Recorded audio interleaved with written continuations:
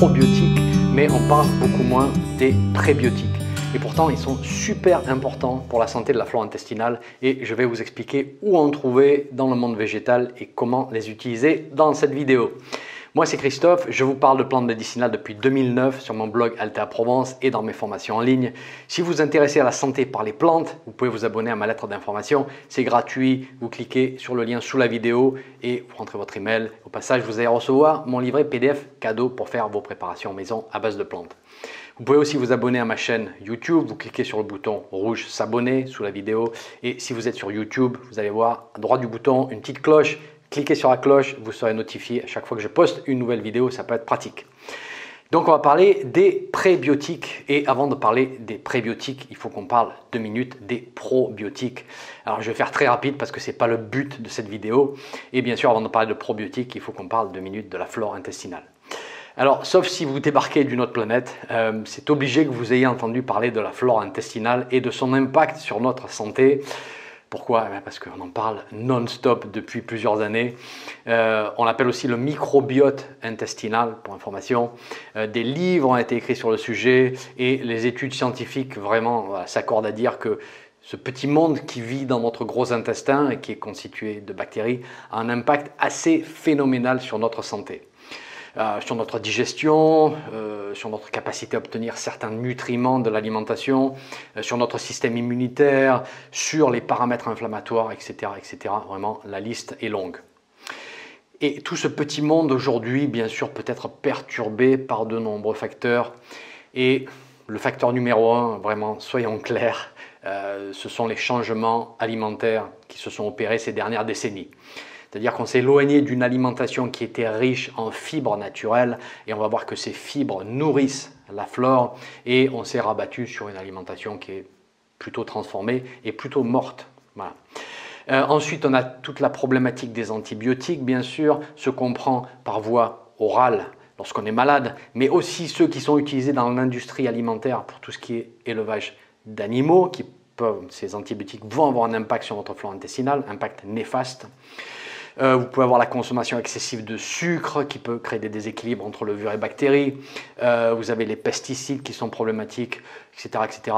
Voilà. D'autres paramètres, on va dire, des, civilisations industrialisées euh, comme les nôtres. Et je ne vais pas toutes les énumérer ici parce que ce n'est pas le but de la vidéo.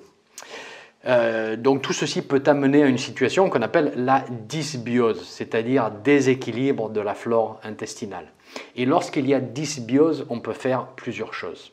D'abord, numéro 1, on peut réintroduire des bactéries au travers de ce qu'on appelle des probiotiques.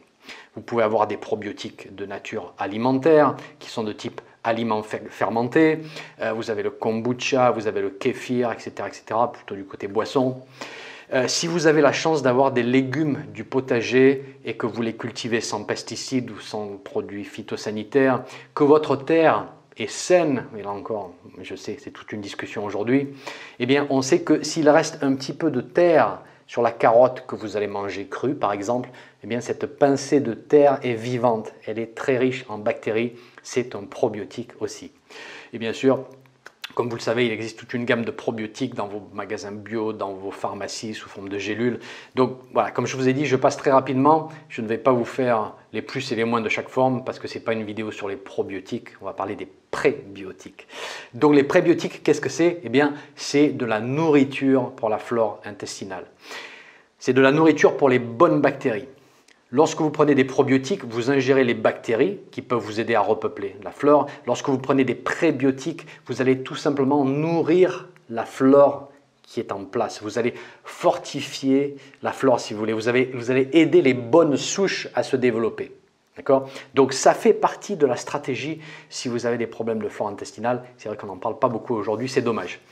Euh, donc on peut consommer des prébiotiques euh, régulièrement en prévention, D'accord? Pour garder une flore intestinale en bon état. Et puis, voilà, s'il y a dysbiose, on va augmenter un petit peu les doses ou le type d'aliment qu'on va, qu'on va consommer.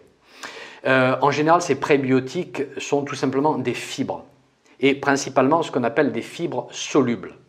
Ces fibres, vous allez les trouver dans certains fruits et légumes et dans certaines plantes médicinales. Et ces fibres-là, on ne va pas les digérer. Elles vont continuer intactes dans le tube digestif jusque dans le côlon, qui est un petit peu une chambre de fermentation pour la flore intestinale, si vous voulez. Et à cet endroit, elles vont être utilisées, elles vont être digérées par les bactéries et elles vont au passage produire des substances très bénéfiques pour notre santé, certains types d'acides gras par exemple qui sont vraiment très bénéfiques pour nous. Et les bactéries vont aussi produire des gaz, ça c'est la partie largement moins glamour des prébiotiques. Mais bon, c'est pour la bonne cause, mais ça va tout de même être le désavantage majeur, on va en reparler dans quelques minutes. Euh, alors on va commencer par l'alimentation.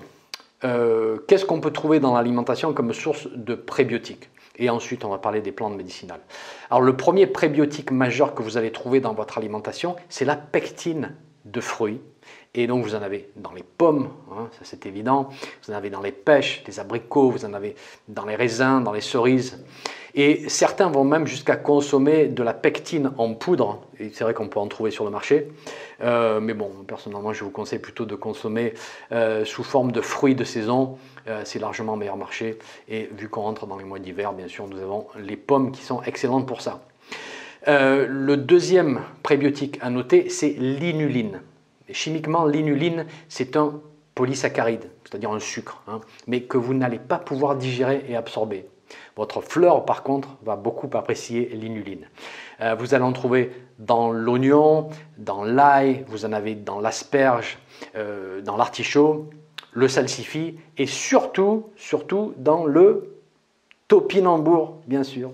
Le fameux topinambour qui est absolument délicieux en bouche avec ce petit goût d'artichaut et puis qui crée souvent pas mal de surprises pendant la digestion. Euh, vous savez maintenant pourquoi Parce qu'il est très riche en inuline et que cette inuline va être utilisée par votre flore intestinale avec pour effet secondaire une forte production de gaz. Le troisième prébiotique intéressant, c'est ce qu'on appelle les FOS, F-O-S, FOS pour fructo-oligosaccharides. C'est un nom bien compliqué pour décrire encore un type de sucre que nous n'arrivons pas à digérer et qui va servir de nourriture pour notre flore. On en trouve aussi dans l'ail, dans l'oignon, dans les poireaux, les artichauts, l'asperge et dans la banane. Donc vous voyez, en fait, on trouve des prébiotiques dans pas mal d'aliments végétaux. Mais si je devais résumer à l'extrême, je dirais qu'avec la famille des aliacées, particulièrement l'ail et l'oignon, vous avez déjà fait une grosse partie du travail. Euh, en plus, au passage, ces aliments vont créer un petit ménage dans, les fleurs, dans la flore pathogène, dans les mauvaises souches de bactéries, donc c'est vraiment un aliment intéressant à consommer régulièrement pour garder une bonne flore à consommer d'une manière un petit peu plus fréquente si vous avez des problèmes de dysbiose. Euh, il faut savoir que la cuisson, hein, la chaleur va en partie endommager ces prébiotiques. Et donc il vaut mieux consommer l'ail et l'oignon cru si vous le tolérez bien sûr. Et puis sinon eh ben, vous pouvez le faire cuire. Il restera toujours une partie de l'inuline intacte. Et puis bon c'est toujours mieux que de, de ne pas utiliser ces aliments du tout. Donc maintenant on va parler des plantes qui peuvent nous apporter des prébiotiques. Et là vous allez voir on va faire simple. On va regarder tout simplement les plantes qui sont les plus riches en inuline et là, il va falloir regarder dans les racines des plantes, parce que l'inuline, c'est une forme de stockage d'énergie de la plante, et vous savez où est-ce que la plante stocke l'énergie en période, hivernale? Dans les racines. Euh, la concentration la plus haute va souvent être obtenue à l'automne, au moment où les parties aériennes ont disparu et toute l'énergie de la plante est repartie dans les racines. Euh, la teneur en inuline, il faut savoir qu'elle peut varier du simple au double en fonction de la période de ramasse. Voilà par exemple être la plus haute en octobre-novembre et diminuer au minimum à la période du, printemps et de l'été. Euh, vous allez voir, les racines en question sont tellement riches en inuline que de toute façon, quelle que soit la période pendant laquelle on ramasse, on va toujours obtenir une bonne quantité d'inuline. C'est l'avantage avec les deux plantes dont je vais vous parler. Alors tout d'abord, vous avez la racine de chicorée qui peut en contenir jusqu'à 60% du poids sec. C'est vraiment énorme. Mais attention, je ne parle pas de la chicorée torréfiée qui vous est vendue pour remplacer le café. Le problème avec cette forme, c'est que justement, on va prendre les racines, on va les torréfier et pendant le processus de torréfaction, l'inuline va être convertie en fructose et puis ce fructose va être caramélisé. Et donc, ce n'est pas du tout optimal comme prébiotique. Par contre, la racine sèche euh, de chicorée que vous avez trouvé en herboristerie, ça c'est un excellent prébiotique. Et puis en nature, vous l'avez vu partout, ici et là, elle, pousse un petit peu partout dans les campagnes. Euh, je suis sûr que vous avez déjà croisé les jolies fleurs bleues. Je vous mets une petite photo ici au passage, voilà, pour faire un petit rappel. Ensuite, vous avez la racine de pissenlit. Et eh oui, la racine de pissenlit qui peut contenir jusqu'à 40% d'inuline en automne. C'est énorme aussi. Euh, racine de pissenlit très facile à trouver en herboristerie, très facile à trouver en, nature bien sûr. Euh, la racine de bardane en contient aussi beaucoup. Mais bon, déjà avec chicorée et pissenlit, des plantes qu'on peut trouver absolument de partout, vraiment, vous êtes couverts. Alors la manière la plus simple de les consommer, c'est de passer les racines au moulin à café. Et vous allez voir, ce sont des racines assez tendres. Donc c'est assez facile à moudre. Et ensuite, si nécessaire, vous allez les passer au travers d'un petit ami de petite passoire de cuisine. Donc vous voyez ici, j'ai j'ai déjà passé ma poudre de racines de, j'ai déjà passé mes racines de pissenlit euh, au moulin à café. Euh, je les ai, euh, je les ai filtrées, tamisées. Mais là, voilà, je viens juste de moudre des racines. Donc, vous voyez, tout simplement, vous prenez un saladier avec un petit, une petite passoire de cuisine. Et là, vous tamisez et vous allez garder uniquement la poudre la plus fine que vous avez récupéré au fond, du bocal. Et puis ici, vous voyez, je récupère des morceaux un petit peu plus gros. Ce que je vais faire avec ces morceaux un petit peu plus gros, c'est que je vais les repasser une ou deux fois au moulin à café. Et puis parfois, il y a des parties vraiment coriaces. Je les mets de côté et je vais m'en faire une petite décoction pour ne rien gâcher. Comment est-ce qu'on la consomme? Une petite cuillère à café de cette poudre de temps en temps, euh, rajoutez à votre nourriture. Ça peut être dans une soupe, ça peut, être, dans une compote ou autre type d'aliment, ça n'a pas d'importance. Et puis, bonus, ces plantes vont stimuler vos organes d'élimination et donc elles vont faciliter un petit nettoyage du système au passage. Ça, c'est pas mal. Euh, vous avez d'autres plantes qui ont un effet prébiotique. Vous avez toutes les plantes qui sont riches en mucilage, comme la racine de guimauve. Et avec la racine de guimauve, euh, en poudre en particulier, vous pouvez former un gel qui est très riche en mucilage. Euh, vous rajoutez de l'eau, euh, c'est un gel qui va adoucir, euh, adoucir, votre système digestif en cas d'inflammation et qui va nourrir la flore aussi au passage. Mais je ne vous ai pas sorti ma guimauve parce que je trouve personnellement que les plantes riches en inuline, les racines dont je vous ai parlé, sont beaucoup plus efficaces dans les cas de problèmes de flore intestinale. les inconvénients de ces plantes et de ces aliments, ce sont les ballonnements.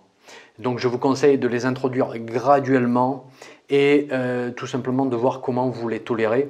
Certaines personnes, ils sont très sensibles et elles vont être très ballonnées. Et donc, euh, si c'est votre cas, il va falloir y aller tout doucement, euh, une petite pincée de temps en temps, et puis vous augmentez graduellement jusqu'à la cuillère à café bien remplie. si c'est en prévention, une fois de temps en temps, s'il y a une dysbiose avérée, eh bien vous faites ça tous les jours. Voilà. Moi, j'ai remarqué que ce sont souvent les personnes qui n'ont pas l'habitude de consommer une grande quantité d'aliments végétaux qui ont le plus de mal à tolérer euh, euh, ces, prébiotiques, ce qui est logique parce que la flore n'est pas encore habituée à une telle densité de fibres végétales et il va falloir un petit temps d'adaptation. Mais en général, au bout d'un certain temps, ces prébiotiques vont être très bien tolérés. Donc, en conclusion, les prébiotiques sont essentiels pour notre flore intestinale. On en trouve dans les fruits riches en pectine, on en trouve dans les légumes riches en inuline, famille de l'ail en particulier, mais on peut aussi avoir recours à la racine de chicorée ou à la racine de pissenlit en poudre. On va manger du pissenlit par la racine, oui, absolument. Euh, vous en pulvérisez une petite quantité à l'avance, vous mettez ça dans un, dans un bocal, et puis vous saupoudrez de temps en temps une petite cuillère à café sur votre nourriture. Il faut bien ça aujourd'hui pour garder une flore intestinale en forme à un moment où elle est constamment agressée. Voilà pour les prébiotiques. Oui, on peut en trouver sur le marché, dans des petites gélules déjà toutes prêtes. Oui, c'est plus pratique, mais franchement, la nature nous offre bien mieux. Elle nous offre des racines de plantes très communes, des plantes qui sont inoffensives, qui poussent tout autour de chez nous. Alors, autant en profiter. Allez, je vous laisse. Si vous avez aimé, un pouce, un partage si vous pensez que la vidéo peut intéresser quelqu'un autour de vous. Sur ce, je vous dis à très bientôt.